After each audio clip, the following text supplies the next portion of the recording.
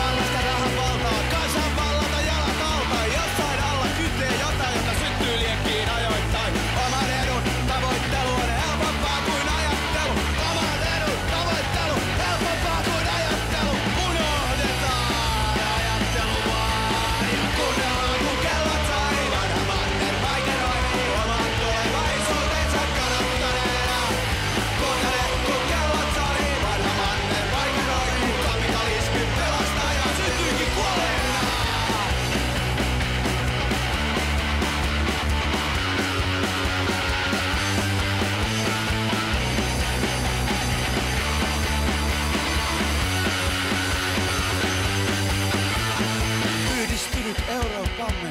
Kuka määrää valintamme? Kenen etuja sä aja? Ihmisen vai sijoittaja? Pörssi määrää kahvit. Tuntea voit rahaa.